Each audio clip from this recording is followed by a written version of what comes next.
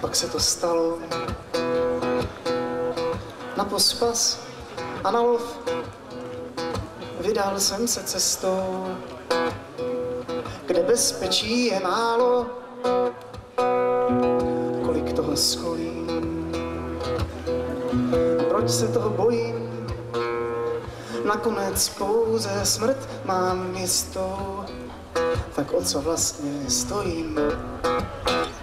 Svět vítá zvláštně, nevážně i vážně, nebezpečně žijí.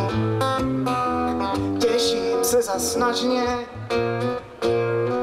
bude-li co žnouti, mouku na melouti. A porostou lívy, proutím na řežouti. Pevnou vůli, krok a boty, ostrý náboje a lokty, jednu holku z dolní hoty. A mládí do froty, zbývá strčit pod kalhoty, ještě kytaru a noty, kostku cukru pro poroty a nahlásit tuty. V půli cesty rozkročený, obzory se mění, jak představy nabít, co je to být navždy umlčený. Má jeden přežít v této ostré řeži. Není času na zbyt, čas jak srna běží.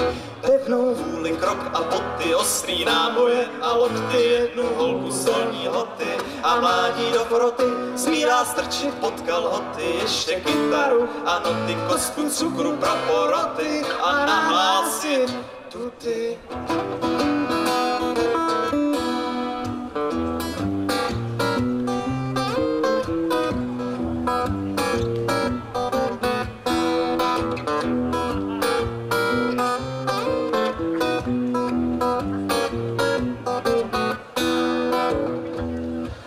Že bych se bál toho, co přijde dál.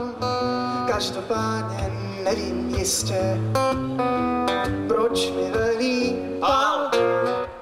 Má puška nenabitá, i má odvaha je skrytá v nepřístupném místě.